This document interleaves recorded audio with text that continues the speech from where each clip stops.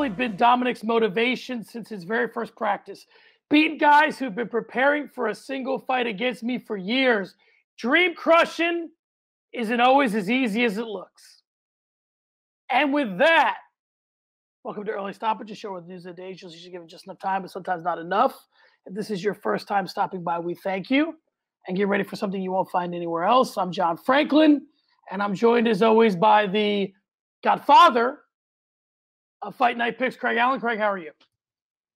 John, I'm well. Um, you know what? You know, early stoppage aside, I'm starting to slip behind in the old Fight Night Picks predictions uh, ranks. I'm still ahead of Matt by quite a bit, but I was feeling drippy today. I was feeling the Canadian drip. I want to get this nice maple leaf encrusted trophy back, so I tossed on the World Championship Canadian uh, jersey. And then I figured I'd break out the newest addition to the Fight Night Picks roster in the office. See, I have a nice piece of memorabilia, Canadian flag, signed by none other than, can you guess who? First Canadian UFC champ. Oh, who was the first Canadian? It was almost Harold Clarence Howard. Who was the first? Who said, Canadian? if you're coming on, come on. Who was Tell the first me. Canadian champ? Carlos Newton. That's right. I forgot Carlos Newton was Canadian. uh, Big Carlos Newton fan. Forget about Matt Hughes. Carlos Newton, George St. Pierre, all day. All day.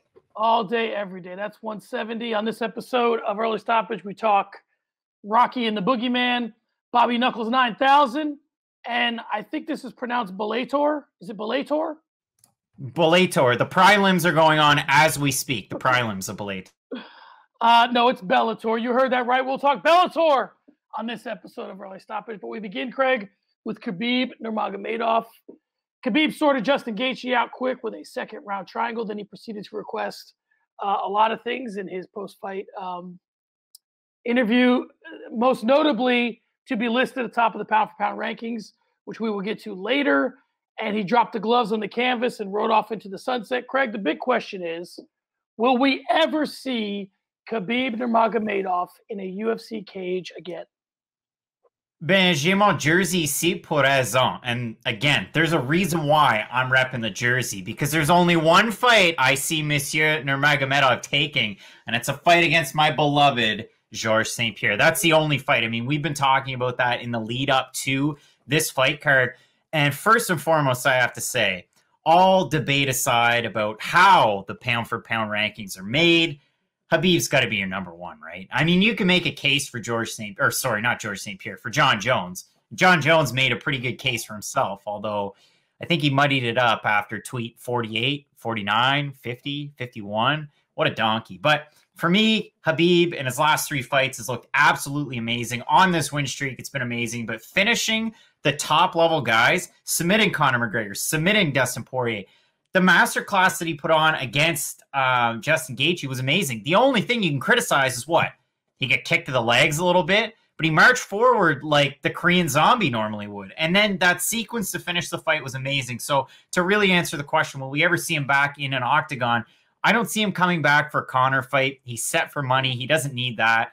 I feel like Khabib's just gonna kind of go back into the shadows, if you will he'll he'll either help out at AKA or just hang out at home in Dagestan and kind of pick up the torch um, where his dad left it. He'll start training, building camps, building teams, and training that next generation of fighters. And I mean, you know, the conversation is now in five years, in ten years, how many champions will we have from that area of the world? Well, again. The Islam Makhachevs. You've got so many different fighters. Zabit Magomedsharipov. You have fighters in the PFL. You have fighters in Bellator Usman Nurmagomedov just signed with Bellator. You've got Umar Nurmagomedov with UFC. There's so many fighters from his inner circle that we're starting to see pop up. So I think he takes a bit of a step back to kind of flourish in that role. But if not, I would think it would be the fight against GSP. And the last time I checked, Mr. Georges St. Pierre, he's doing a lot of interviews. So he's starting to kind of get that rumor mill spinning again. But he's getting older. He's not getting any younger. So if it's going to be a fight, I would think it would happen in the next, what, year or so? Because if it's not going to happen, I don't think it ever happens. If it doesn't happen anytime soon, it's never going to happen. Here's where it gets interesting for me, and that's they would have to break a lot of precedent for George St. Pierre to fight uh, Khabib Nurmagomedov. Meaning this, obviously, with Khabib um, retiring, it takes the belt off of his waist, right? Or it will. So then the question becomes: Well, George St. Pierre comes back to fight Khabib Nurmagomedov, what do they fight at, and what do they fight for? How's it not the main event, but there's no belt? Now, the easy situation to fix that would be to create a 165 pound belt and have them fight for it. Dana White said he won't do that. But here's my thing with him coming back in the octagon is that most of the things I have a lot of different thoughts about Khabib, and honestly, you know, in the rundown later, we're going to rank our uh, pound for pound all time, which you've obviously already jumped a gun on, but we still have some fun with it. Um, Khabib definitely sticks to his word. When he says he's going to do something, he typically does it. He, when he when he tells you he's never going to fight Conor McGregor again, you should believe him. When he tells you he's never going to step in the octagon again, you should believe him. Most people use this as an opportunity to uh, drum up some, you know, interest in a fight, pulling them out of retirement. I don't see that with him. The best case scenario for me, which will never happen, would be George St. Pierre and Khabib Nurmagomedov fighting in a co-promoted fight outside of the UFC where they get all the money and it's in Russia. I think that'd be great. Now the legalities of that being of that happening because they don't have any belts tying them up. The legalities of that do it in Montreal. Yeah, could be. The legalities of that happening are pretty much impossible. There's no way Dana White's gonna let that happen without you know having some input on that, even though it's happening between two retired fighters. So that's a story for another day. But I, yeah, I don't think we're going to see him in the octagon again, just because there's too many hoops that he has to jump through to get there. And I mean, we'll move forward just as long as it's not promoted by Golden Boy Promotions. So we'll stay with Khabib, kind of. And in the wake of Khabib's victory, his pound for pound ranking is now number one. And Jon Jones came out to make the case that he keeps that rank. I mean, that number one spot, so coveted, so heralded. And really, you look at what happened. I mean, a lot of people are calling Jon Jones petty. Some think that it's justified with what Jones said on Twitter. What say you, John, but not Jon Jones, John Franklin? Is this Jon Jones actually being petty and just continuing to throw shade at AKA, or is he right in this spot? I think he's right that he shouldn't be so easily dismissed um, in this discussion because, listen, I'm going to say a lot of things, that, and we'll really get into this and rank them, but I'm going to say a lot of things here that uh, a lot of people are going to have some problems with. Number one is that Khabib Nurmagomedov retired in the cage. You're not eligible for rankings if you're retired. That's number one. So, so you can make the case he shouldn't even be eligible to be a pound for pound fighter, but that's a different discussion. But I'm just I'm just throwing that out there.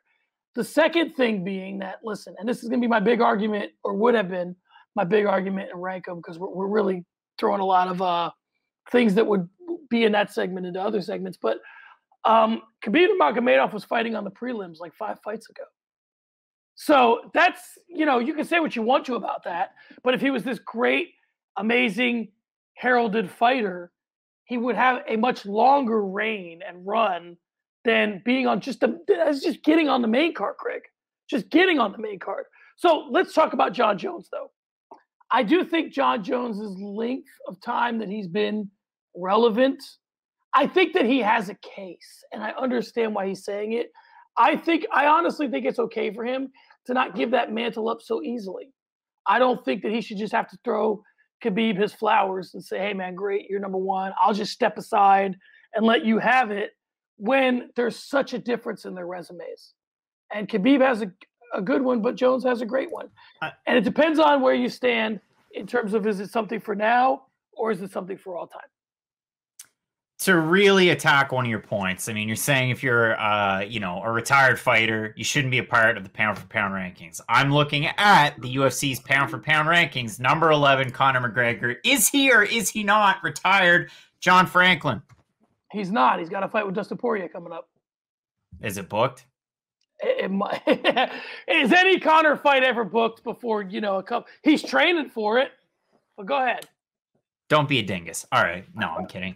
I look at this and you're right. I agree with you. You look at Jon Jones' total body of work, and again, I'm not going to get too far into it, but yes, it's more prestigious than Khabib's. But Khabib's last three wins in the greatest division in MMA right now, in the biggest organization, and you beat the top three guys. What was the narrative before this fight? Justin Gaethje has a perfect style to beat Khabib, and he clowned him. That finishing sequence was amazing. So I think that, that that means a lot more. Hold on, I think that means a lot more than a win over a washed-up Gustafsson, than a win over blown-up Thiago Santos, blown-up Anthony Smith, Dominick Reyes. I think that Khabib's last three wins solidify that case that he should be number one pound for pound at this current juncture over Jon Jones. I don't care about Jon Jones' wins from 2010 to 2012. They don't really factor into that discussion right now. Right now, who's the best pound for pound fighter? Khabib Nurmagomedov. All time, different discussion. Right now, Khabib Nurmagomedov. All right, it's a good thing that we clipped these because we're stepping all over the rank up segment. But let me transition this question then. Hold on. The better question is: Is this good? Is this good for Jon Jones? Is it good for him to even start this argument? I mean, you you keep yourself relevant. You're between divisions. You don't have a belt, so you can kind of say, "Hey, I should be the number one guy." The conversation should revolve around me. But apart from that, I, I don't see what what's the merit. What's really the merit to Jon Jones doing this, other than getting his name out in the headlines?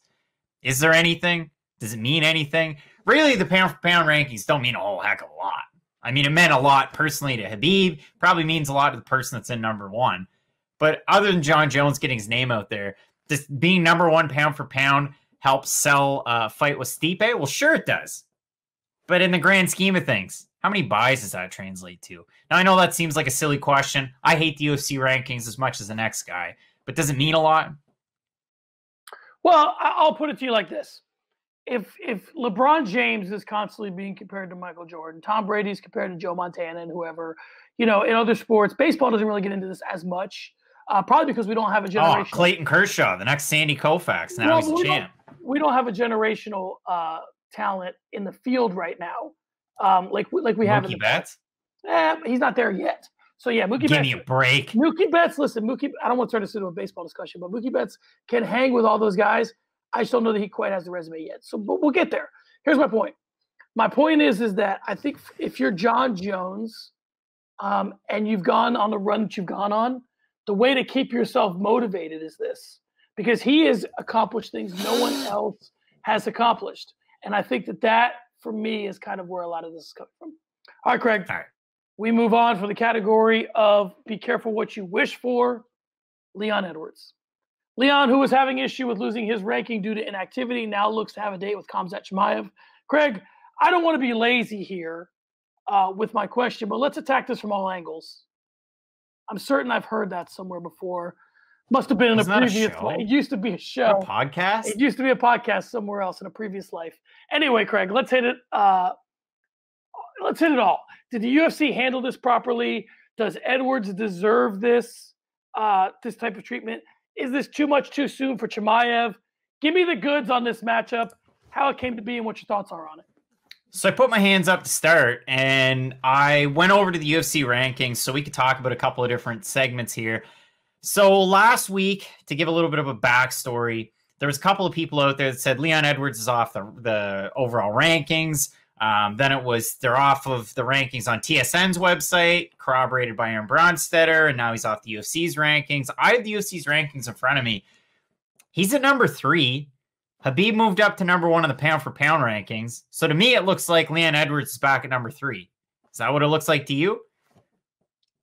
That's what it seems like to me, anyway. I mean, maybe I'm mistaken, but that's what I see right in front of me in the screen. I see my lovely face. I see a guy with a blue hmm. shirt and blue curtains and then I see rankings with Leon Edwards at number three. This is such a long shot for Khamzat Chimaev. And don't make don't let that seem like I'm pumping the brakes on Chimaev. Craig Allen, huge Chimaev guy, big on him when he came out from Brave. This sounds like a speech here. But uh, overall, this is way too big of a step up. You don't beat John Phillips, Rhys McKee, Gerald Meerschaert, number three Leon Edwards that's in line for title shot. That it just seems like too much. Now I get it. The argument for this is well, he's ran through his opponents. I know. I um, I watched the the fights with my own two eyes that are looking at Leon Edwards, number three in the rankings. So to me, it seems like way too big of a step up. I mean, why wouldn't you do? I don't know, like Tyron Woodley. I know he's on a downturn. There, you beat a former champ. Now you fight a guy way up there, or have him fight like a guy that's like I know RDA is a fight uh, nobody wants to fight Geoff Neal. I know Geoff Neal went through some sickness. Vicente Luque, your people's champ, Nate Diaz, Pettis. Like, why not a fight like that? Take Mike Perry out of his fight with uh, Robbie Lawler. Doesn't seem to be promoted anymore. Have him fight Robbie Lawler. There's so many different fights to make in there. Why do you have to make the fight with number three Leon Edwards? And then what happens? What if Leon Edwards wins a boring decision? I hate to say it. I like Leon Edwards a lot. What happens if Leon Edwards goes out there, outboxes him, out wrestles him, outlasts him, and his cardio is great? Well, then what do you do? Khamzat Chimaev lost to the third ranked guy. So does, do we just send him back down to the prelims, send him back down to the, the guys that aren't in the top 15 and let him beat up some cans? No, this isn't Bellator. This isn't Michael Venom Page. So work this guy up. Don't take the and and it's a bit of a stretch to say the Bellator approach, but don't have him fight the guy mm. so far up there that you, you can never come back to that. I think it's a little silly, but I mean, kudos to Khamzat Chimaev. Shoot your shot, man. That's a great fight. You know, uh, you took it from the Khamzat Chimaev perspective, so I'll take it from the Leon Edwards perspective. Uh, this is bully tactics. There's no other way to look at it. I mean, first you remove the guy's ranking, then you got him fighting, you know, one of the a guy who's, you know, ransacking everybody, who's just not even uh, really a ranked fighter. If he is, he's barely ranked. So to me, this is a punishment to Leon Edwards more than it is a gift to Khamzat Chimaev. It's unfair. I mean, Leon Edwards has been trying to book a title fight forever. They won't give it to him. What the way I perceive this and the way this feels to me is, Leon, we've offered you a bunch of fights. You've said no to them. We took away your ranking. If you want it back, you got to fight this kid. That's to me, it's to me them, them painting him into a corner. And because they are not willing to give him what he wants, they're taking it like he's being an unagreeable partner. When not for nothing, if not for a pandemic, the guys guy fought Tyron Woodley. That's not his fault. That's it. That's it. That's the weird thing. That that's that that fight didn't happen. So you want to you want to take him through the ringer through all this stuff like he's being super difficult. I think that if in other circumstances the Woodley fight goes through, and then what are we talking about? I mean, the, the most unfair part of that is the fact that, you know, they, like you said, they painted him into a corner. That was supposed to be the main event over in London that card was when the world was starting to shut down. So they took the Darren Stewart fight against Bartosz Fabinski, threw that on a Cage Warriors card in a different city. And then poor Leon Edwards is left without a dance partner. What happens? Woodley fights Burns. Burns beats the piss out of him. And then Burns is the next in line for a title shot. Oh, wait, record scratch. That fight's not going to happen anytime soon. So Usman ends up fighting Masvidal. Burns on the back burner. Burns gets the fight. The fight falls out. And now Leon Edwards is really the odd man out. Like Tyron Woodley's star has fallen so far, but Leon Edwards' rank is still there. So we're going to take the rank away from him. And oh, by the way, like you said, you're going to fight an unranked phenom, and we'll see what happens. Yeah, th- this is ridiculous. This this type of stuff wouldn't happen to Fabian Edwards over in Bellator. No, it wouldn't.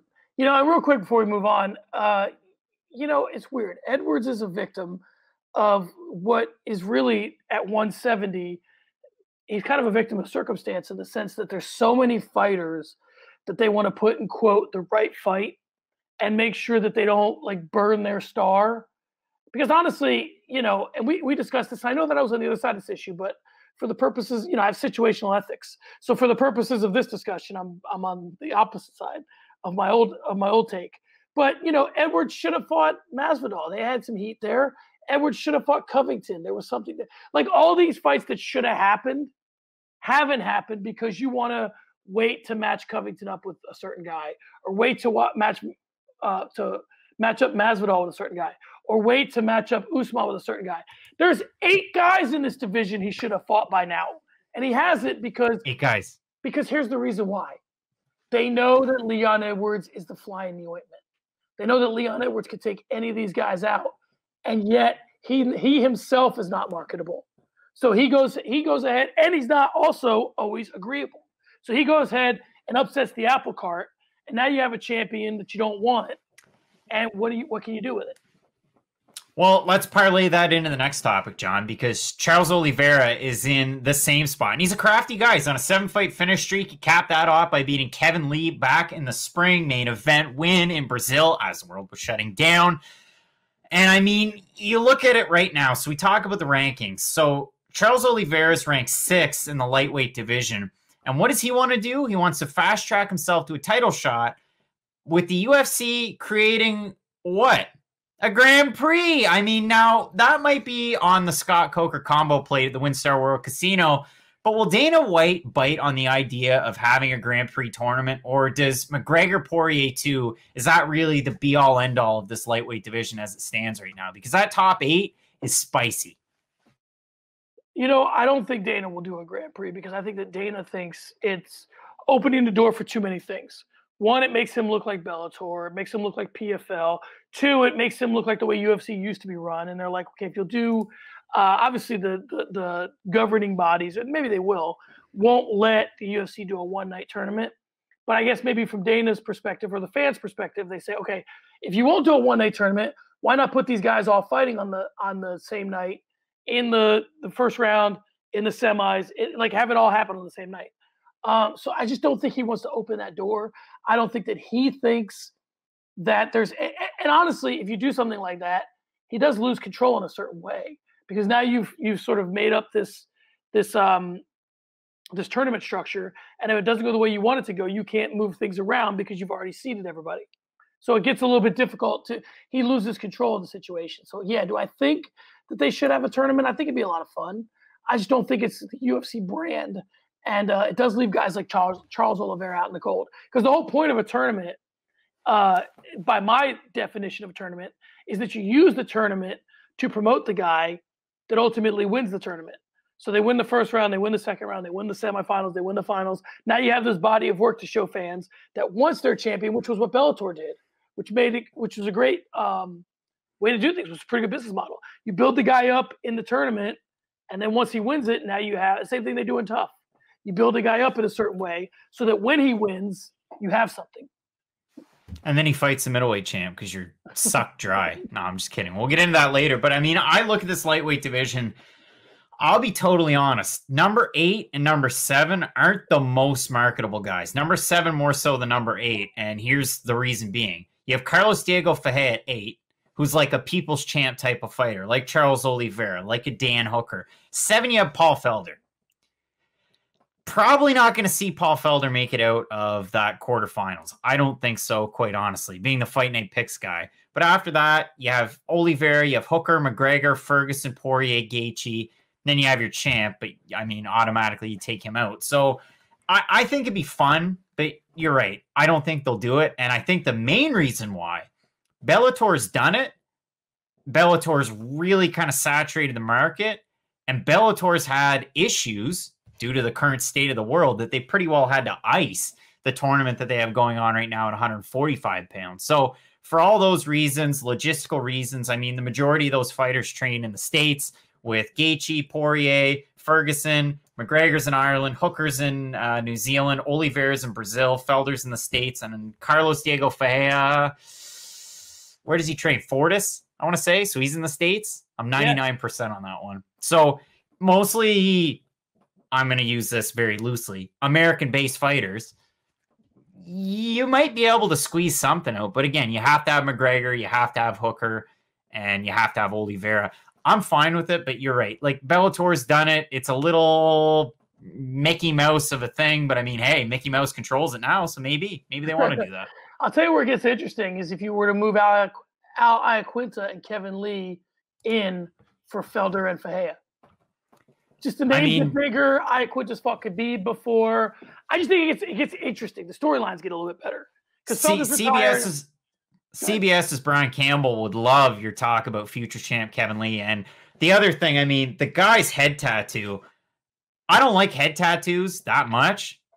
It's fucking bitching. Matt Allen loves it. we love it. It's crazy. Who doesn't?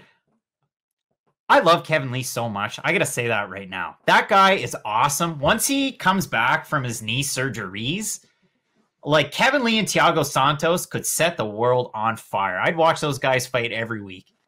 Kevin Lee is is like the exact opposite of one of those guys. Like um, he's almost the opposite of Khabib. Like Khabib has all the skills and really none of the marketability. Kevin Lee has all the marketability and none of the skill. You know, not the he has the skills, but not the and, same way. And then he co- he comes out of nowhere out of Montreal, Quebec, Canada, and knocks the fuck out of Gil- uh, Gregor Gillespie. And then everybody's talking about a, um, about him again. I'm so excited. And then Oliveira submits him, but we're still excited about him. Yeah. All right. Speaking of exciting, tonight uh, in mere in mere hours, Douglas Lima and Gegard Mousasi will hook up for a title fight. So this brings us to Bellator, which we don't talk about a lot for obvious reasons. Uh, maybe not obvious reasons. Uh, the UFC just has a lot more going on. There's more to talk about in the UFC. So I guess my question is on Bellator, and and I'm I'm barely barely familiar with it. I, I hear that it has a little bit of a of a groundswell. It's grassroots over there. Uh, do you think Bellator will ever crack the code of how to compete with the UFC? Because they've gotten close before. They kind of decided that okay, Saturdays are not for us. We can't try and guess when they're not going to be on because now the UFC is on almost every Saturday. They went to Fridays. Um, do you think they can ever compete with the UFC, or will they forever be the show that every once in a while throws a worthwhile card at you? And when you look back, like Strikeforce, like WEC, like some of these other organizations the UFC took out, you can go, oh, wow, this was a hell of a fight, or this was a hell of a card on this night. Do you think it would benefit them to have great cards once a quarter or have okay cards every month? It's uh that's a loaded question. And I'm gonna I'm gonna tease oh, yeah. you a little bit. I'm gonna make fun of you because the way that you structured that is an issue that people should have with Bellator. So you said they realized Saturday night was for the boys, the big UFC card, so we're gonna move to Friday. John, you said it in the start. It's a Thursday night, and Bellator's tonight. Bellator switched their model to Thursday nights. This card's so big. It's Bellator 250. With a number like 250, wouldn't you stack it? Wouldn't you make it big? Well, yeah, I mean, they have a middleweight title fight, your former middleweight champ who got submitted by Rafael or Rafael, sorry, Lovato Jr. I mean, don't get me wrong. I love Lovato. It's a shame how his, you know, career's kind of unfolded after the uh what was it, the the brain diagnosis, the issues that he was having, that he had to vacate the belt. So you get Mousasi back in, who barely beat Machida, um, listen, I didn't even think he beat Shlemenko. I thought the fight should have been stopped. Like Gegard Mousasi's Bellator run, there's a lot of dubs on his record, but if you watch the fights, they haven't been pretty. And I like Gegard Mousasi. I think he's great. I think Douglas Lima mops the floor with him at 85. I love Douglas Lima. I like again, now I seem like I'm pumping my own tires. I've been a Bellator guy for a really long time. I have a lot of issues with the way that they do things. I think it's awesome that they align themselves with CBS but PFL was on NBC, and were people clamoring for PFL on NBC? I don't think so. They're on ESPN. Are people getting really excited about the PFL on ESPN starting in 2021? I mean, apart from us talking about it, don't really hear a whole lot about them. So Bellator has to, I, I wouldn't say wait every quarter, but you remember Bellator NYC, right? Like I remember where I was Oh, come on. It was Chael Sonnen and Tito Ortiz. You remember ah, that. that's right. It was Fedor Matt Mitrione. It was the debut of Aaron Pico. I don't even have this up in front of me because I remember where I was. I was renting a house in Fredericton. We had the top half. My brother come over to watch it. We rented the pay-per-view. I was so excited for that. Like, it was a big event. Do more of those. Like, I realized Fedor's on his last legs. Well, he was on his last legs then, too. Chael Sonnen retired, but Tito hasn't, so maybe bring him back. Have him fight Stephan Bonnar. I don't know. Like, they, they, there's so many things that they could do. And here's another issue.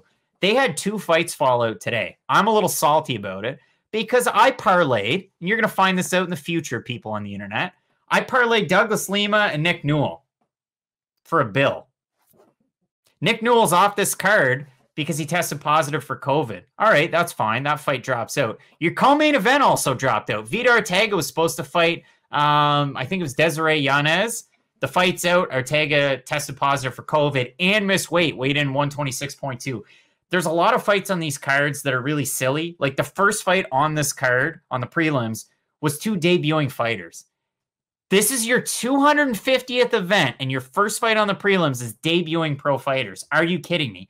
Now, I get it. We get a lot of uh, entertainment value at a lot of these lower fighters because what are they doing? They get one fight deals with Bellator. If you impress us, we'll sign you on for more. Will Morris was a guy like that. Had a couple fights, big finishes. All of a sudden, you're fighting Joe Schilling and you're tapping out after the first round. So Bellator has to do a better job. I know they just kind of throw darts at a board and they try and sign every big prospect they can. They just got uh, Usman Nurmagomedov. They get a lot like Joey Davis is a big prospect that you don't hear enough about because he's hidden with Bellator. The Fortune brothers, do we hear a lot about them? I wish we heard more. Um, th- they have a lot of good prospects, but I find that their prospects get lost in the shuffle between good prospects, middle tier prospects, and guys that are going to fight one time with the promotion. They lose in emphatic fashion, and we never hear of them again. So for me, it's promoting the talent a little bit more. I mean, they have their MVPs, their Douglas Limas, their homegrown stars that they end up losing to the UFC, like Illwell Brooks, Eddie Alvarez, Michael Chandler. and so on and so forth. But they do have those homegrown guys and gals. Like Ilima-Lei Macfarlane, it was just announced she's got a fight coming up against Juliana Velasquez. That's exciting. Market that. But man, you have fights on a night like this. You have three fight main cards. What? Why are we doing three fight main cards and then having Jack Swagger on the prelims against, and you love my Foghorn Leghorn impression, Brandon Carlton? Brandon Carlton. You know Brandon Carlton. Anyway, I don't understand a lot of the things that they do. The one other issue that I have, which they seem to have fixed, is their first fight card on CBS. I sat in this office right here in my glorious Team Canada jersey and I watched the fights up on my television. And they didn't get done till like one o'clock in the morning. I live an hour ahead of Eastern Standard Time, so midnight Eastern. All right. Majority of your fight fans, uh, you know, maybe Vegas is a fight capital. You got fight fans all over the world they normally cater live pro sporting events in North America to Eastern Standard Time, do they not? Unless the West Coast, like football team, baseball team, what have you. Yes, they do. Yes, they do. The answer is yes. I don't care if it's no, it's yes here. It's yes. Don't have fights end after one o'clock in the morning. You have European bands, you have European series. They're early, early morning Friday. How do you expect anybody to catch these shows? Nobody's staying up that late to watch Douglas Lima fight Gegard Mousasi. And if they are, they're the hardest of the hardcores, and you're going to get their money anyway. If you want to appeal to casual fans and grow your brand, have your fights early, have more fights than three on a main card, and start marketing your your talent. I'm so mad. That's the end of my rant. I love you, Bellator. I love you, Bellator. I think I said, you know what? What did I say? It was way back. It wasn't even early stoppage. I think it was between the links on uh, another podcast network. I said that Bellator was like that ex girlfriend that used to drink too much. And then at a certain point, you just got to go, you're, you're too drunk, go home, go to bed. That's what Bellator is like. You're too sloppy, you're making mistakes, you're doing a lot of crazy stuff that you regret the next day. Just be wholesome, Bellator. Have a mocktail if you need to. Just take take a foot off the gas pedal. Guys, if you're wondering what life was like pre-COVID, pre-COVID was when I asked Craig this question and that was the longest response. We're only in segment in, in number five of the rundown. So because Sorry. Craig, there's nothing Craig didn't cover in that answer. I'll keep my response short, which is maybe Bellator needs something like what Strikeforce used to have, like a challenger series where you can put young fighters in there, and you can you can kind of eat up space in between cards. Because the problem, Craig, is that if you try to have a full schedule of pay pay-per-view or non pay per view, but like, you know, actual cards, like numbered events. If you stack them, you run out of guys to fill the other cards. Like, you know, if you put the fourth, if you make the fourth fight down on UFC, or I'm sorry, Bellator 250, a good fight, well, then who headlines the next one and the one after that and the one after that? You gotta you gotta pray for great health to have that happen. I think if it were me, I would make Bellator a feeder league for the UFC. No, that's another organization. I, if it were me, I would, um, you know, buy out some regional promotion, put a little money into it. Say, you know, LFA is too big, but like buy out some regional promotion and say, I want all your fighters, like, and then make that be make that be ultimately what Dana White's Contender Series is. And guys need to go from the Bellator, you know, the WWE does it called NXT. Have a promote, have a show that is guys trying to get to the big show, and then you make the big show a bigger deal. That's the way I think Bellator should approach this. But instead, they want you to get your dick hard for Bobby Voelker and Sabah Homasi. Remember when those guys fought in the UFC? Well, hey, by the way, they're fighting tonight with Bellator, so get excited about it. Bellator, I have news for you. Bobby Voelker will never get my dick hard. Sorry. All right, let's move on. All right, John. So let's transition from Bellator into something that I'm slightly less passionate about, but still passionate about nonetheless. Robert Whittaker's fresh off an impressive win over Jared Cannonier, and he said that he's got a few tricks up his sleeves for Israel Adesanya. So here's the question: Did you see anything in the fight that Robert Whittaker employed against Jared Cannonier that makes you think that his next fight against Adesanya is going to be a lot different than the first fight? So one of the things on the Fight Night Picks recap show for UFC 254 that's on our Patreon is um, that I said was and I, it was on the broadcast. It's not like I, I, you know, discovered anything, some hidden treasure here, or, or, had some great piece of analysis. You know, Robert Whittaker looked real sharp with the right hand followed by the high kick. Uh, do I think that's going to surprise Israel Adesanya? I don't. I think that there are parts of Robert Whittaker's game that are um, unique to other people who have fought Israel Adesanya. They don't occur on the feet. Whittaker is a lot faster than a lot of guys that Adesanya has fought, but we said that about Costa as well. And then Izzy does kind of does this thing where he just sticks you in mud. And if Whittaker doesn't have an answer to that, like if Whittaker can't get off first, if Whittaker isn't, you know, make isn't putting Adesanya a little bit on the defensive, he might be in trouble. Now here's the bad news: he's great defensively. You know, Adesanya is a good counterpuncher. He does a lot of things well in the stand-up. So you really gotta, you know, um, you gotta be coming in there with a unique set of skills, Liam Neeson style, that um, if you're gonna, you know, mess around with Israel Adesanya. And I think that the kid is constantly uploading data and turning it into something in the cage that has everybody guessing. And right now he's got it all figured out. But again, the beautiful thing about the fight game is everyone has a plan until they get punched in the face, and everybody has a plan until they really get cracked in the face. So if he can put real leather on it as Adesanya, you know, kind of like what Gastelum did, where he, where he makes this kid dig deep, then um, and I think Robert Whittaker is capable of that. Again, this is the thing that makes Israel, the rest of Israel Adesanya's career so interesting. And this is not a backhanded compliment to Kelvin Gastelum. But if Kelvin Gastelum can do what he did to Israel Adesanya, there's a lot of guys that can do it. And I, I, I think Gastelum's a talent, but there's a lot of guys who can do what Gastelum can do, and they have physical attributes that Gastelum doesn't have. Robert Whittaker is one of those guys. Chris Weidman's one of those guys too. I mean, if we're playing MMA math, he beat Kelvin Gastelum. Next title shot, Chris Weidman off a win over Omari Akhmedov. No, John, while you were uh, kicking this off, and I know you were as passionate as I was about Whittaker uh, and and my Bellator rant, but I had to pull up some lyrics from one of my favorite songs. Can't do me nothing, can't tell me nada. Don't quote me now because I'm doing the lambada. Make some noise by the Beastie Boys. Listen, I don't see the second fight going all that differently. Now, did I underestimate Robert Whittaker in his fight with Jared Cannonier? 100%. Full transparency, yes, I did. I said Cannonier was going to beat Whittaker. At the last second, I got cold feet.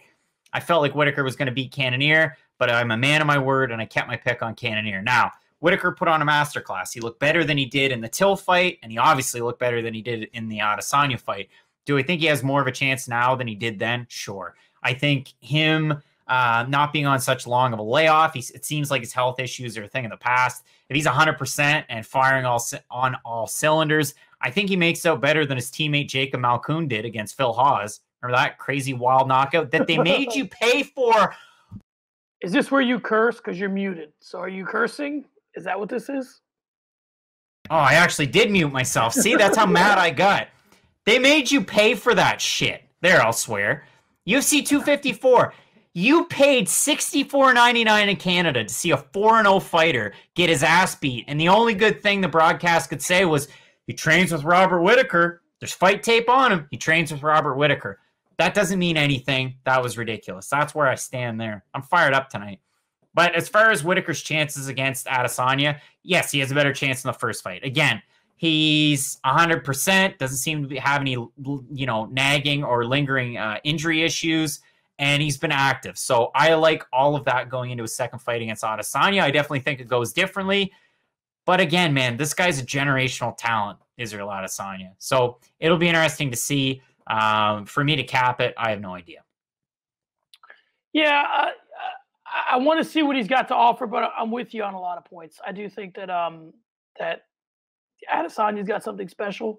And we, you know, there, there was a time we were comparing Robert Whittaker to George St. Pierre. Here's where this gets interesting for me. The first thing that Whittaker said, and people are going to hate this. And listen, I'm as much of a family man as anybody is. I love spending time with my kids. I love spending time with it. You know, I, I, this is family is very important to me.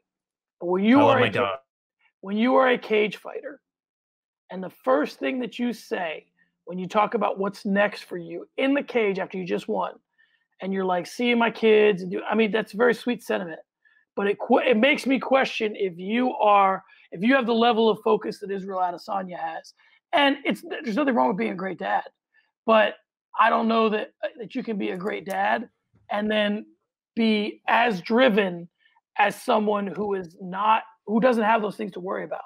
That's all I'm saying. What about Dad Cowboy? I mean, listen, the cowboy, the cowboy rides away, the George Strait song or like like uh concert series that he had. But Cowboy, Dad, Dad Cowboy, fresh Dad Cowboy, recent Dad Cowboy. I mean, he did pretty good. He did, and that, that could there, there, could be a, a, Dad Reaper. Is that what you're gonna Dad Knuckles? I don't know what we would call the dad version of Robert Whittaker, where the dad becomes the focus. But all right, Craig, we move on to sparring sessions. We've covered this a lot of different ways. Obviously, in Rank Em, we're going to cover it again. So let's try not to step on that segment, but we'll see. Um, let's talk about Khabib Nurmagomedov. And a lot of people have a lot of differing opinions on Khabib. We know that he was dominant in his time, but how long that time was and who he fought, you can make heads or tails of that depending on if you're pro Khabib or anti Khabib. So I guess my question is, um, he's definitely been getting his flowers. He definitely took out McGregor, Poirier, Gaethje, submitted them all, all impressively. So my question is, do you think by the general MMA public, not by Craig Allen, Khabib is underrated or overrated? Underrated. Um, I threw it out there on Facebook. So our podcast just dropped from last week, and I went a little wild with the um, the thumbnail, as you probably did see, where I had Anderson Silva and I just put the goat with the goat emoji. That was my intro to last week's podcast. I threw that one out there in a couple of different Facebook groups. Uh, one of them was MMA debating groups. Maybe add them or, or, do whatever you do with Facebook groups. I'm not a Facebook guy. I'm 26 years old. Um, but the thing that I put out there was, is Anderson Silva in the GOAT conversation or where is he in the GOAT conversation? Somebody said, well, my Mount Rushmore is like a Fedor, Jon Jones, GSP, and I don't know, insert Royce Gracie. And I said, not Khabib. And his response was, no, not Khabib. I put him somewhere in the category of Jon Fitch. Are you fucking kidding me? Is that a joke? Jon Fitch? Jon Fitch had a great career, don't get me wrong. But Jon Fitch did like it's not even shit to Khabib. The guy's undefeated. Like again, now here's here's where we're letting it bubble a little bit. We're starting to simmer. This guy's a generational talent. He's arguably the greatest of all time. And I know again, we're teasing it. We're gonna get into that probably next. But I think he's underrated. I think it could be he's not from North America. English is, isn't his first language. This pay per view wasn't uh, in prime time in the States. It wasn't a big spectacle. Like you said, he was fighting on the prelim cards not that long ago. One of his wins in his win streak is Darrell Horcher. A lot of people like to gripe on that one. I don't know why. Um, he lost to Gleison Tibau, arguably. Like, there's so many stupid little arguments that people have. Um, I would say underrated, but to me, he's he's top two. And it's difficult for me, and I'm incredibly biased, but for me, he's top two of all time. Um, and I think a lot of people underrate him. I agree. I think a lot of people underrate him. For me, he's a little overrated. Um, so, and obviously we'll get to that here in a second. But I, I, think part of the reason why he's overrated is he's kind of a hipster's pick, and he's a little bit like a lot of the arguments that you make. And again, we're going to get into this, guys. We keep we keep teasing it. We're going to get into this in more detail. But for me, a lot of the stuff that you see from Khabib has to do with how do you view interim titles, right? Because the knock on Conor McGregor is that he never defended any of his belts. Okay, so it depends on how you look at Khabib. Yes, he defended it twice over Poirier and Gaethje. But the question is, how many champions did Khabib ever defeat? Well, do you think Gaethje's a champion? And do you think Poirier's a champion? If you think they're champions, then it's three. If you don't think they're champions, then it's one. And now, if you start to get into the Jon Jones discussion, Jon Jones beat every champion pretty much never lived at 205 pounds, except for Chuck Liddell. So we'll get into that here in a second. Again, we're stepping all over it, but that's where we're going. My point is, is that that's where I think that Khabib does get a little bit overrated. It depends on. I think this last three last three fights were amazing.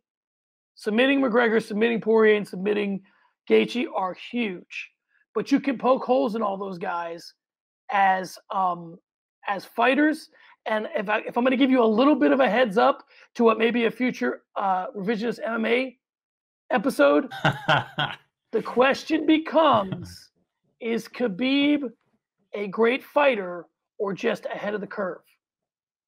Meaning, is he George St. Pierre, hold on, and Jon Jones, or is he Ronda Rousey and Royce Gracie? Is his wrestling so far ahead of the curve that that becomes the reason why he's victorious? And, and again, he's victorious, so it doesn't matter.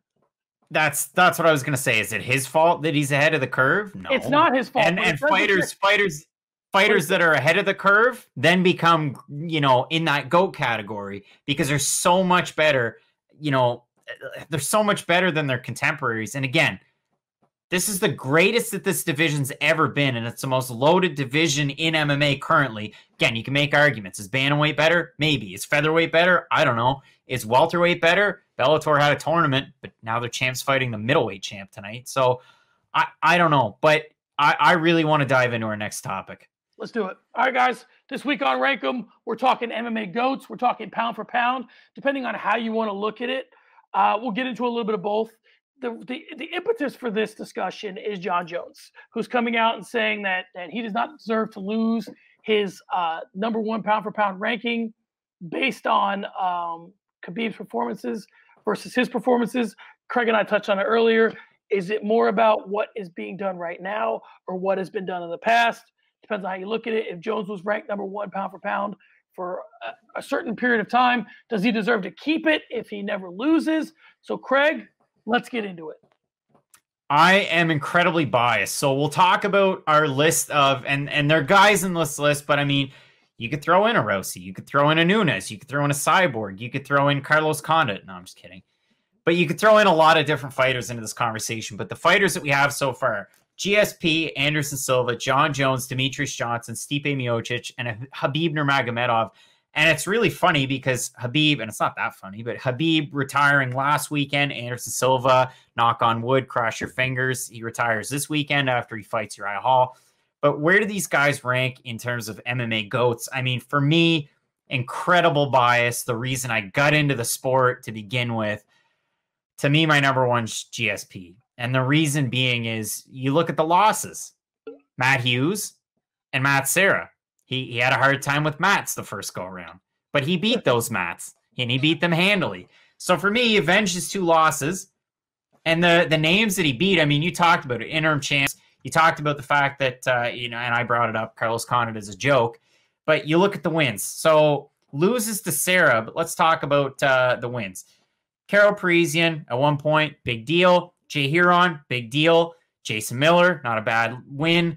Trigg, Sherk, Penn, Hughes, Koscheck, Hughes, Serra, Fitch, Penn, Alves, Hardy, eh, Hardy, Koscheck, Shields, Condit, again, interim champ, Nick Diaz, People's Champ, Johnny Hendricks probably lost it, Michael Bisping.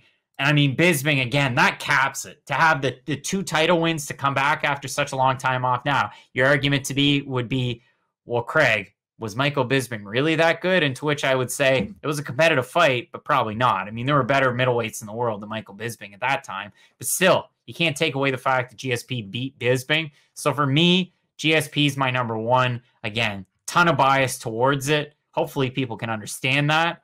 But uh, to me, George St. Pierre is the the greatest of all time. Did it with, and it's not to take away from anybody, but did it with absolute class. Hardly a blemish on his record.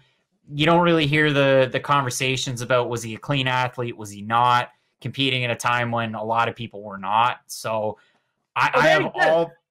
They exist. What's that? They, those. Oh yeah, they exist. exist. Well, I know they do, but I just I just drown them out. So for me, greatest of all time, and a, perfect example of a martial artist, an exemplary Canadian, and somebody that I hold to the highest regard. Okay, so let's reframe this this question because I'm sure if you're if you're a no, I don't fan, care. I'm not changing my mind. No, no, no, you don't have to. If you're a real fan of early stoppage, you will say to yourself, "Well, you guys have had this conversation a lot. Mount Rushmore's goat. You framed it differently, and we have." Here's my pushback to that. Uh, Khabib Nurmagomedov making the statement he did changes it because in the past we haven't included him in this discussion. So he changed the discussion, right? Because is he the number one pound for pound? So what I'm gonna do is I'm gonna change it from goat because goat to me is number one, not the issue at hand. It's number one pound for pound. And I think goat and number one pound for pound are different, meaning this is my definition of number one pound for pound. And people can argue this with me all they want. I've looked up the definition of it, and this is what I take from it. If all these guys were the same weight, who would win? All right. So here's where I give the nod to Jon Jones. And, and I will say this Anderson and GSP aren't far behind, but Khabib is. If you look at everyone that Jon Jones fought, every single person, Rampage and Machida and Shogun and Chael and Vitor and all these guys that that Jon Jones fought. Whether Khabib is 205 pounds or those fighters are 155 pounds and they get to now I don't buy into this if Shogun Hua was 155 pounds, he'd be different. No, no. He's 155 pounds, has same power, same skills. He's just a smaller guy. All right. You mean to tell me that if all the guys that Jon Jones has beaten fought Khabib, none of them would knock Khabib out? One of them would knock Khabib out. Whether it be Shogun, whether it be Machida, whether it be Rampage, Chael might even out wrestle him. Like all the guys, Vitor, all those guys, somebody would get Khabib, and none of them got Jones. That's my argument. I think Jones is the number one pound for pound, meaning if everyone was the same weight and everyone was in their prime, Jon Jones wins. That's my thought on number one pound for pound of all time. Now, if I'm rephrasing it that way, you don't have to step off your guy because your guy, trust me, his accolades are there. Jo- George St. Pierre can strike with Jon Jones and he can um, wrestle with Jon Jones 100%. So you can definitely keep George St. Pierre. But the reframing of the question, like I did, does it change your thoughts on it at all? You you could certainly have Jones there. I mean, is there any anti-Jones sentiment in from my side? If you want the biased answer, yeah, 100% there is. I mean, I I didn't tell the whole truth at the start. See, Craig Allen and Matt Allen when they were young bucks in 2008, 2009 getting into MMA, it was for George St. Pierre, don't get me wrong. But it was mostly for Jon Jones. And we watched Jon Jones all the way up through the prelims, through all those title fights. We always ordered back in middle school and high school GSP pay per views and Jon Jones pay per views. And I remember hating Ryan Bader for a multitude of reasons. But I, I, to me, I, eh, are you framing it pound for pound or are you framing it goat? You got to be specific. Pound for pound, because we're talking about that's what if, we're talking about now. That's okay, if we're if we're going if we're going pound, is that he's okay. the best fighter right now. If everyone were the same weight, if if all of these guys decided to stick a needle in their rear ends and do a line of blow and hop in a cage, who would emerge victorious? Yeah, it's pro- probably going to be Jon Jones. I mean, he's more weathered to it, right? But no, it's it's probably going to be Jon Jones. So yeah, I mean, I could understand if you if you'd have Jon Jones, your number one overall pound for pound. And the problem with it, and here's the problem with the lightweight conversation. Just focus on lightweight who are the lightweight pound for pound greats? You got your Khabibs, you got your Frankie Edgars, your Benson Hendersons, your BJ Penn. Well, then we switch into a GOAT conversation. Who's the GOAT at lightweight? Everybody discounts BJ Penn because the end of his career, right? That happens. I mean, it's it's fair. I understand it. I wouldn't even call it recency bias. You diminished your legacy. For this conversation, it's tough to not look at Jon Jones' recent run over again. Gustafsson, Smith, Santos, Reyes they they haven't been the type of performances that made everybody get up and get excited about Jon Jones. Does it tarnish anything? A little. I mean, is it his fault that it's not the same level of competition as it used to be and he needed the picograms? No. So to me, you just got to look at like prime everybody and then factor in what's happened throughout their careers. I I do, yeah. I mean, Jon Jones at number one, I'm fine with that. I'll say this: if all guys are at the same weight, and I had to bet my life on who I thought would win that fight, it gets real tough for me between Jones and Silva. Silva in his prime was a sniper, and he fought at 205 as well. So depending on the way, I, I just feel like if, throughout all the different weights, I trust Silva the most to win that. But um, I'll go with Jon Jones on one all time. Now, listen, you've done plenty of stepping on other segments, and you're about to step on the conversation. So let me cut you short because whatever you're going to say can probably be said there. Uh, let's move on, Craig, to for the Gram.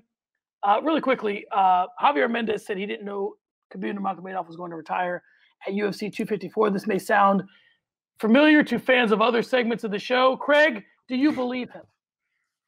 I do. I actually do, which might sound weird, but – I mean, leading up to this fight, we talked about it. Who's he gonna fight? Who's next? Is it McGregor? Is it GSP? And then we started the show off, and I said, well, if it's anybody, it's still GSP. For Khabib to retire, I mean, I called my wife into the office as I'm watching the fights alone, and I said, hey, look at this. Like Khabib's retiring. Like, did it bring a tear to my eye? No. Did the Khabib and his dad thing by BT Sport, the little cartoon, did that make me cry? You're fucking right, it did. I, I teared right up. I'll admit it. I think I admitted it last week too with my terrible audio quality. So I'll reiterate that. But yeah, I believe him. I think he caught a lot of people off guard with this. And, and yeah, I, I, who knew? You know, I, would like to say that I don't believe him because people always say, you know, things that, you know, they don't want known. Like, I'm completely caught off guard with this. You think, well, this is his coach. This is in many ways his confidant. This is a guy who, in, in many ways, replaced his father. You know, Abdul uh, Manap Nurmagomedov had such a good relationship with Javier um, Mendez that that's really why, you know, Khabib's at AKA and why Javier has the place in Khabib's life that he does. But Khabib keeps stuff so close to the vest, and I feel like he's so um, I don't want to say lack of trust, but the things that are important to him, I think he keeps confined to a very small group of people, and this would fall into that group. And I, I, I would think that Javier Mendez is in that group, but maybe not. All right, Craig, let's move on to one Twitter hitter. Uh, Bryce Mitchell finally got his camo shorts. Is this long overdue, right on time, or who cares? I think, you know, I'm decked out in Canadian camo here. Uh, let's go into a little bit of detail, but not too much on this one. I mean, we're talking Twitter. I've already used up half the time that we get on Twitter, just getting ready for this. I, I who cares? I mean, really, it's cool. I saw the shorts; they look great. Uh, Realtree camo is not my thing. If that's what you want to wear to Canadian Tire on a Saturday when you're going to buy some Mastercraft, fill your boots. But I really don't care. Who's going to buy that kind of stuff? Really? Are there well, many people that are going to wear that? I don't like camo. I don't. People up here wear camo all year round. It's the summertime and you're wearing sh- cut off shorts and a camo t shirt. Who are you fooling? We can see you. Yeah, you're right. We, we can see you. Um, but I guess my thing is, is it depends on what this kid's trying to parlay it into. If he's trying to somehow parlay these camo shorts into being the next Donald Cerrone, good for you. Then then I, I, can I can get down with that. If it's just camo shorts for the sake of camo shorts, and this is like some victory for him, then that's cool. But if if, if it's part of a larger plan for him, then that I, I like. Like if he's gonna wear I, the camo shorts and transition that into being the camo guy for the UFC and open a, a line of camo stuff himself, that's smart. But if it's just about the shorts, I don't really care he's parlaying himself really well. I talked about this in the prediction video, and spoiler alert, I took Andre Fili. I could be wrong. This could come out after then. I, I, don't care. I think it's a competitive fight. But overall, he has a really good YouTube channel, and I think people should check it out. Is he paying me to say this? No. Is this the second time I've said this this week? Yes. But I actually enjoy the content. I think he's doing a good job of setting himself up outside of the octagon that a lot of people don't do. Uh, so th- th- what's wrong with this? You're the only guy wearing camo shorts in the entirety of the UFC, and they keep adding more and more fighters to their roster as fights fall out. I mean, look at the fight that Kevin Holland has coming up this weekend against Charlie Ontiveros, whose opponent's records of his wins are 40, 30, and 1. So they're hiring anybody and everybody that has a pulse right now. If you can be unique like Bryce Mitchell and be the only guy with camo shorts and fill your – mud boots and get ready. Get ready. All right, Craig, Craig, or Clegg, either one. Uh, let's move on to posting. let's move on to posting to the book. Well, Craig, it's on like Donkey Kong. Iron Mike Tyson and Roy Jones Jr. will be fighting November 28th. And what type of fight is still up in the air? The talk is that this will be an exhibition, but neither fighter seems to want to adhere to that.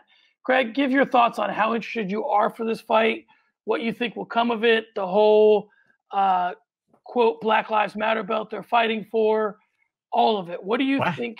There's a WBC belt they're fighting for that's called like a frontline. Um, I'll have to get the particulars, but it's it's basically like a Black Lives Matter belt that they're fighting for. It's it's it, it, yeah. So um, what do you think about this fight? How interested are you in it? Give me a number that you feel comfortable paying paying for the pay per view if you're going to pay for it at all. What are your thoughts on the whole thing? Well, I mean, I did tell you I paid sixty four ninety nine off the hop to see four zero oh Jacob Malkoun get knocked out by Phil Hawes, who was eight and two, and all of what eighteen seconds. So I mean, yeah, I'll pay. I'll pay. Uh, would I sooner have it on DAZN that I'm already paying for? Yeah, but I don't want to pay for this. It's a flash in the pan. It's a gimmick. If the money goes to charity, then maybe. But you know, if it's like, what was it supposed to be? Thirty nine ninety nine, twenty nine ninety nine. Would I pay that? Probably. I think I've heard as high as fifty.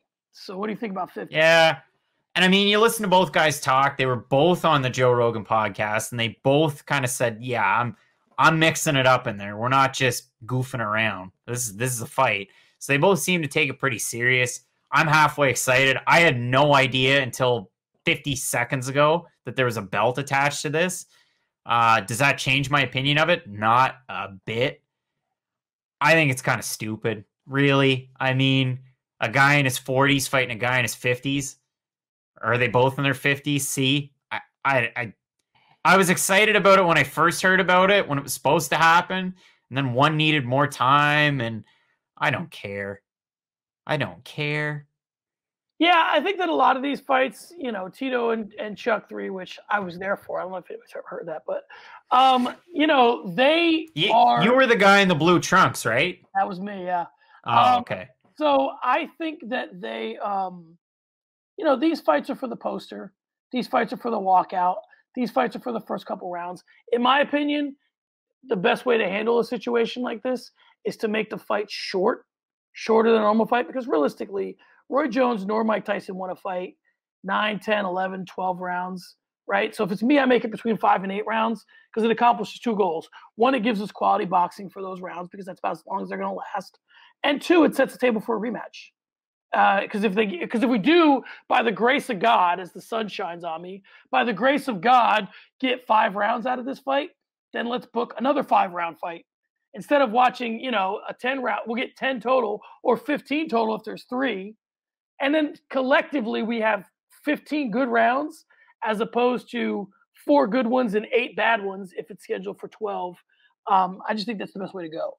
And I don't know what people think. Like, if they told you it was gonna be a five round fight, I don't know what you think you're missing if you're getting upset about that. Like, what? I get Tyson and Jones, I'm paying 50 bucks, it's five rounds. You're getting five good rounds, so be happy about it, as opposed to, you know, five bad ones if they go 10 rounds. So yeah, I'm with it. I'll always be with it because you know I I like to see guys fight who didn't fight in their prime if they come in there fit and ready. That's my thing. Come in there fit and ready, and I'm down. All right, Craig. So so whoa whoa whoa whoa whoa whoa whoa. Let's parlay this into MMA terms. So how excited were you when Bellator decided a main event Fedor and Rampage at heavyweight?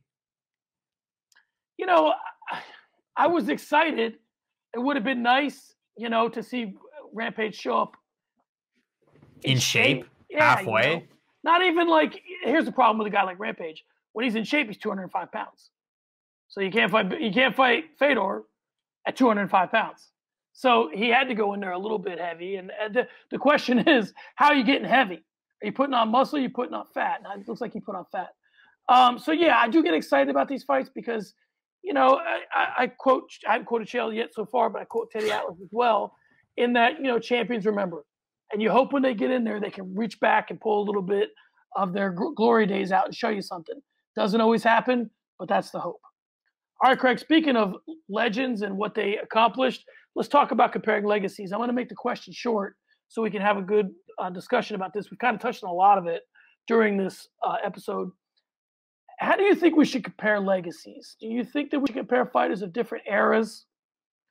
Um, we're going to do it either way, but do you think it's fair to compare fighters of different eras? Or and when and when we do, do we compare them at their best?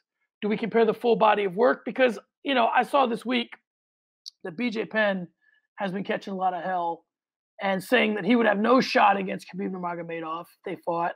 And you know, even in his prime, and I think it, it was by a young guy, and I won't mention his name, but he was he, he obviously hadn't seen BJ at his best. Um, because you know BJ fought GSP at his best, and BJ, you know, he fought guys, Matt Hughes at his best, and to think that George that Khabib Nurmagomedov would just run out and take down George St. Pierre and Matt Hughes like it was nothing, I think some people would be, in the words of Joe Rogan, I think you'd be surprised if Matt Hughes. That's George, Brendan Schaub. Well, no, George St. Fair.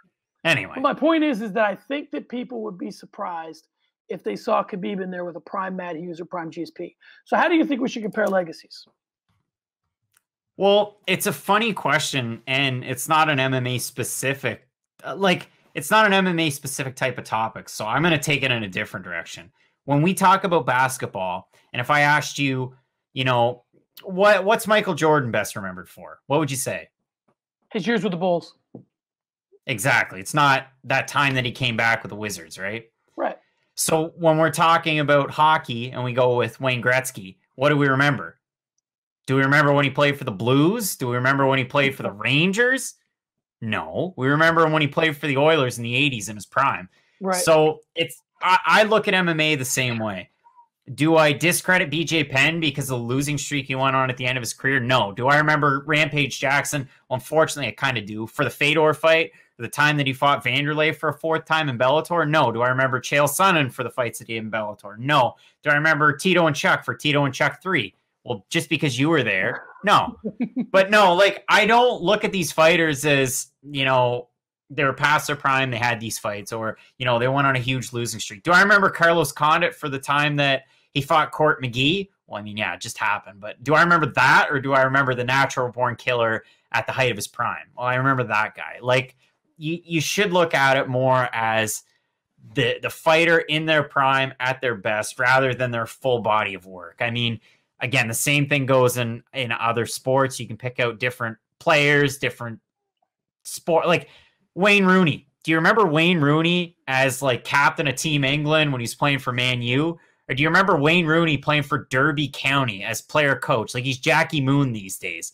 No, you remember Rooney 12, 13 years ago. So it's the same thing for me with MMA. I have something caught in my throat right now. So I'll take over. For me, it's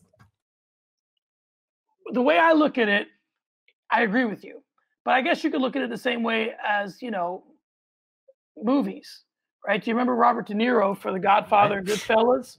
Or do you remember Robert De Niro for Bad Grandpa or all these movies he's making now. And I guess the question becomes the real question that I that I want to pose to you is once a fighter, and I asked this last week, but now we have a new set of eyes on it. Once a fighter reaches Hall of Fame status, is the rest of their career their business? Or should it affect once you know at the end of that fight, this guy's in the Hall of Fame? And you know, when certain fights happen, you know you know that after Khabib Nurmagomedov beat Conor McGregor, he was in the Hall of Fame. You knew it. He won the belt. He had already been so dominant. Had he retired after beating Conor McGregor, he still would have put him in the Hall of Fame. And then he went on and beat Poirier and Gaethje.